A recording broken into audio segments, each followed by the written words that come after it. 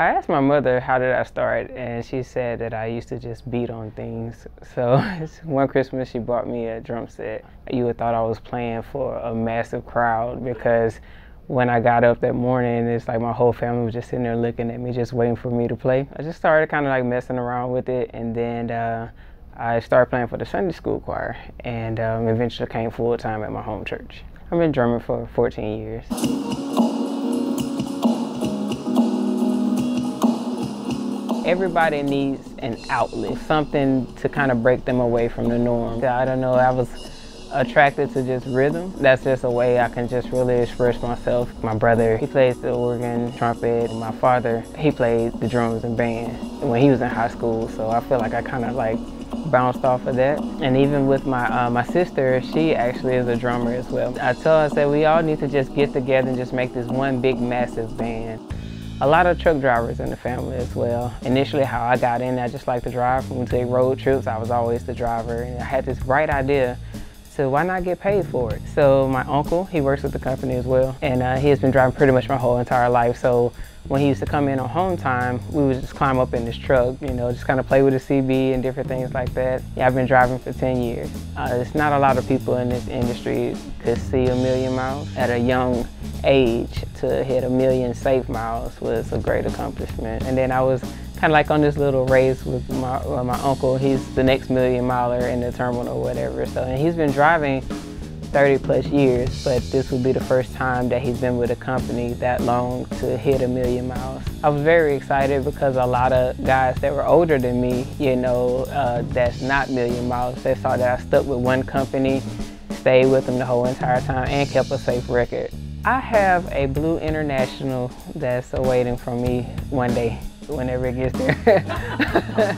yeah, it's not it's not there. They they've ordered it, but uh, it takes it takes a, a, while. But I'm excited. Blue is my favorite color. And International is a good truck, not only for the way it rides, but like even with training.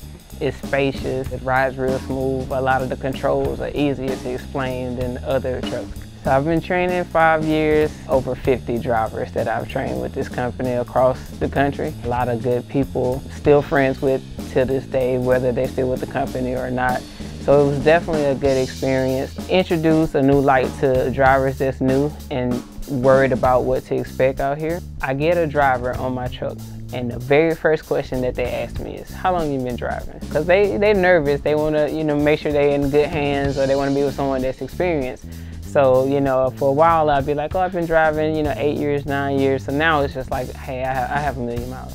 I've, I've been driving a million miles. And that this is their facial expression. It's like, okay, now that's good, that's good. And then the next is like, how old are you? Being in this industry, you have to have a great helpmate.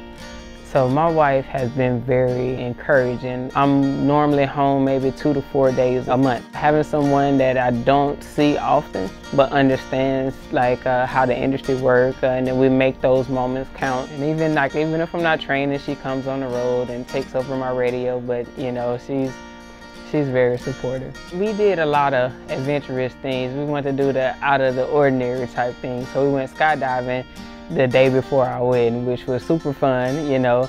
I'm glad we made it, you know. it was when we got there before they set us up and hooked the harness on us, well, she was crying. She was just she was just sitting there crying, you know, and I and I, I put that pressure on her. I was like, if you want to marry me, you got to jump out this airplane. You know, I, I just want to see how strong your love is, you know. The best thing about driving is definitely seeing the states. Long stretches, you have time to think contemplate. I can use that as playing the drum whatever because I plan out in my day. So if I'm playing the drums or if I'm calculating beats or whatever and, and, and looking for combinations, I would say it's tied into me calculating throughout the day uh, my routes. Uh, you know, everything has to be done on a timely basis or whatever. So that's how I section everything up. We have an amazing team. It's like friends, you know, they got my back. It doesn't feel like a job. Not only was Knight a good company along the way, the commitment and the loyalty that they showed me in um, the hard times that I dealt with, uh, with, you know, like deaths in my family where I needed to take off for personal reasons, they were understanding. I never had a problem where I wasn't able to get home to handle the things that I need. So I had a good work and personal life balance that kept me along the way over the years.